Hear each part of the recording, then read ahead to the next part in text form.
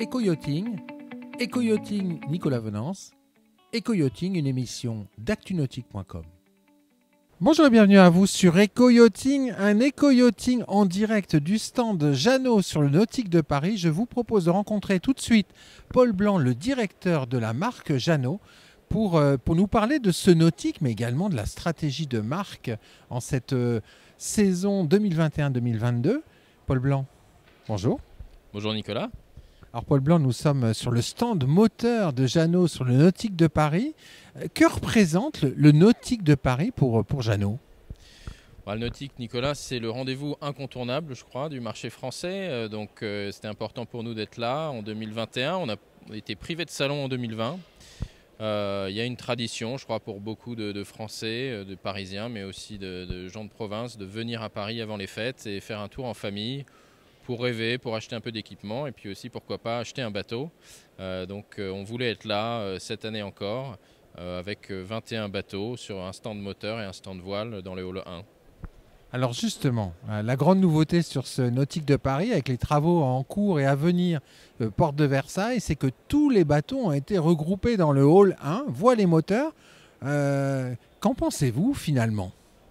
Bah, c'est intéressant, euh, ça nous change. Avant, on, faisait, on marchait pas mal pour les professionnels entre la voile et le moteur.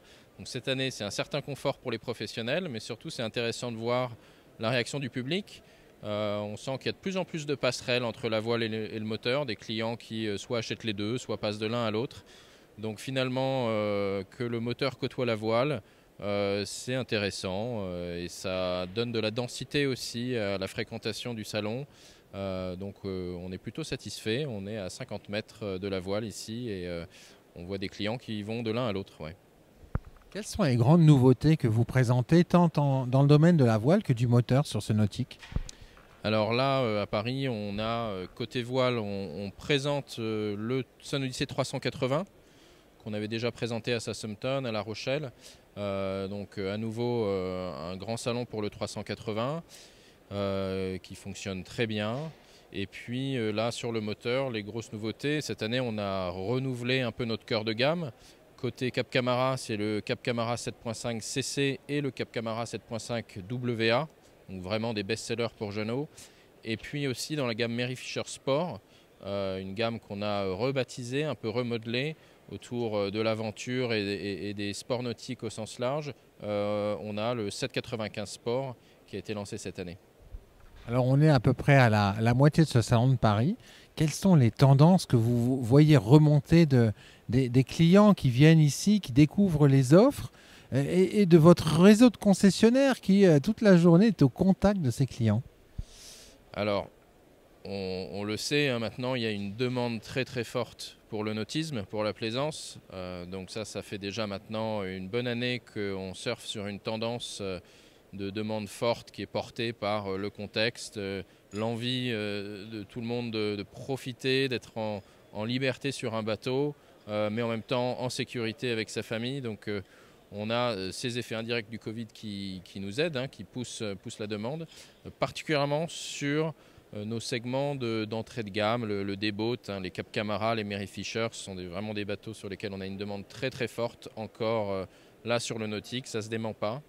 Euh, et puis ce qu'on constate sur ce salon, là, la petite tendance depuis samedi, c'est euh, un, rebond euh, sur la voile, une grosse fréquentation sur le centre de voile.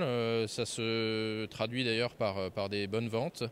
Et donc c'est intéressant parce que c'est plutôt un signal positif de voir un enthousiasme autour de la voile qui n'avait pas disparu mais qui, qui revient un peu en force là cette année. À, quoi est-ce que vous attribuez cet intérêt, euh, ce retour d'intérêt fort pour les voiliers?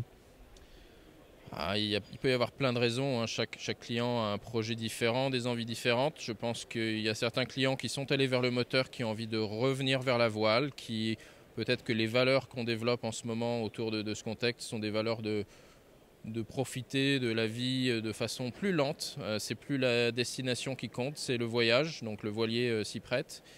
Et puis peut-être aussi une clientèle qui est aujourd'hui plus sensible à l'environnement.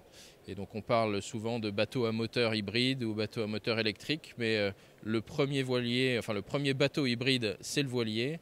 et donc finalement, peut-être que le marché de la voile est porté aussi par cette envie de, naviguer plus propre. Oui, c'est vrai, parce que clairement, dans l'automobile, on ne voit pas de voiture à, voile, mais dans le notice, depuis toujours, un voilier, par nature et par essence, c'est un bateau hybride. Bien sûr, oui. Le bateau, avant, d'avoir été à moteur, a été à voile. Et donc, euh, encore aujourd'hui, on propose des voiliers qui sont euh, des bateaux hybrides. Alors, l'année 2022 va être riche hein, en nouveautés euh, chez vous, notamment avec le nouveau DB, la nouvelle gamme qui arrive. Ça, c'est important hein, pour, pour Jeannot.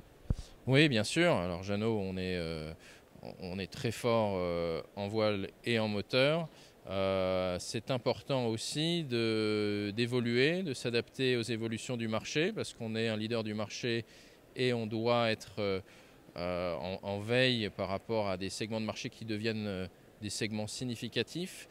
Et le segment qu'on appelle dans l'industrie le déboat de luxe, hein, un peu un bateau très ouvert sur l'extérieur, avec beaucoup de style, euh, beaucoup de, une, ligne très design avec une étrave droite.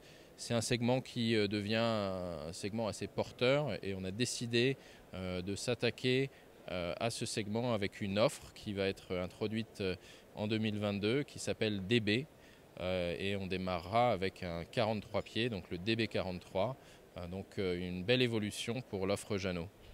En conclusion, Paul Blanc, comment vous voyez l'année 2022 pour Jeannot? On va avoir une année 2022 encore très riche en événements, avec donc le lancement de cette nouvelle gamme DB qui va être un des temps forts euh, dès, le début de l'année. Euh, et puis euh, encore beaucoup de livraisons. On a beaucoup de clients qui attendent impatiemment leur bateau, donc on va produire beaucoup de bateaux en 2022, les livrer à nos clients. ils vont en profiter, j'en suis certain. Euh, nous, on essaye de produire de plus en plus de bateaux parce qu'il faut répondre à cette demande. Donc, on a aussi des projets industriels avec le groupe pour aller euh, euh, dès demain renforcer encore notre capacité industrielle pour répondre à la demande. Donc, on ne chôme pas, on travaille pour nos clients et je suis sûr que l'année 2022 va être encore très très riche. Merci beaucoup, Paul. Merci, Nicolas.